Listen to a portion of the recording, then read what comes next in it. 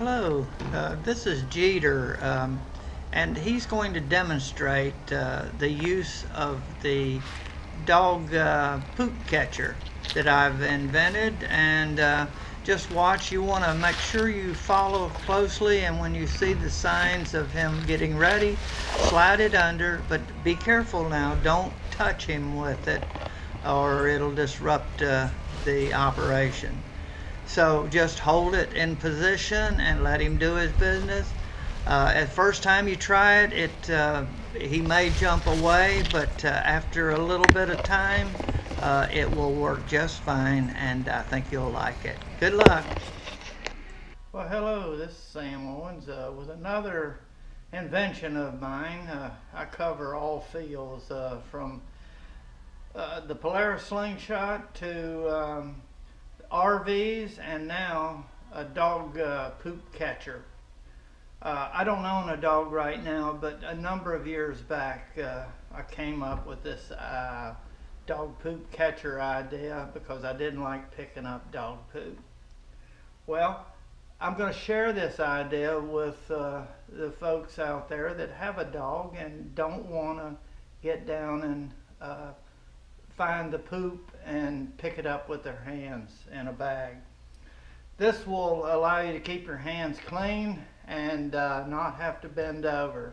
I have a portion of the video dedicated to uh, demonstrating uh, with the use of Jeter, one of our neighborhood dogs. Uh, he demonstrates it well. And uh, it's a great product for all size dogs. I've used uh, I've used it with large dogs and very small dogs and uh, it seems to do the job and it's very inexpensive and easy for you to build yourself. I'm going to go over uh, the materials and how to assemble them to make your own dog poop catcher. Go to the hardware. I went to um, Home Depot and purchased these items half inch uh, PVC pipe with a, a, coupler or you could just have, I, I made this so that I could uh, detach it and you know store it in two pieces the handle so it's not so long but I wouldn't recommend it. You don't really need to. You just store this out in the garage or wherever and uh, leave it as one piece uh, uh, if you would like or you can add a coupler and uh, make it where you can take it apart. Another item you're going to need is something like this I found is very inexpensive and uh, easy to modify as your support for the, the bag that you're going to use to collect the dog poop. This is nothing more than a, a gallon paint can pouring spout. This part goes into the top of the can and it allows uh, to pour the paint out without running down the side of the uh, can. So you can get this in the paint department and they're uh, about $1.95. Now it doesn't have this hole. This is what you're going to have to drill yourself. A half inch uh, hole uh, or uh, two and you probably can't find a drill bit that big but the biggest one you can get and you can kind of work this out or you could get an auger bit and uh, I'll leave that to you. But you could drill a half inch hole and then with a knife you can carve it out to the size you need.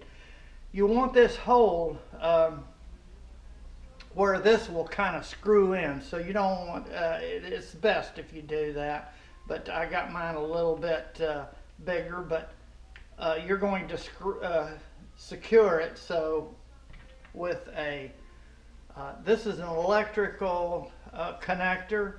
It goes on to um, eh, I don't have it uh, the clamp that goes uh, into an electric box and this screws into it. So in the electrical section you can get one of those little connectors and what you do is screw this on just like this. And give it a good tight fit. And then that holds it right at that point. And then you uh, take a rubber band is going to be needed to clamp the bag and I'm going to demonstrate that. So what I do is I slide the rubber band on because I have a uh, some this was my camera mount to video the camera that I uh, showed Jeter demonstrating the use of this product. But once you've got that in place, I just kind of put it over here. You stick this into the end of that, give her a good twist, and there is your dog poop catcher frame and handle ready to go. And now I'm going to show you how I mount the bag. I found a real neat way to do this. This is any um, bag that you get at the grocery store, any kind of uh, convenience store, a little plastic bag of any kind, but it's got these little handles on the side. And what you do, you pop this in here like this, and you wrap. Let me give you a good shot of this.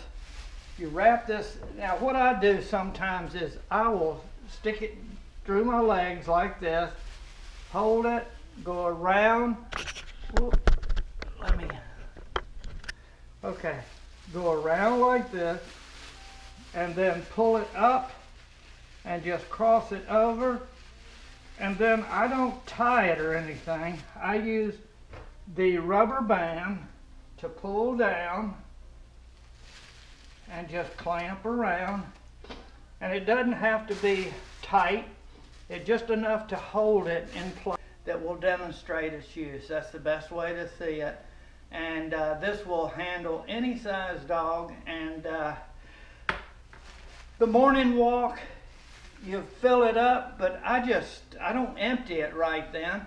I simply, because uh, the reservoir is big enough, unless it's a huge dog, a little dog, you could just use this for the whole day, one time.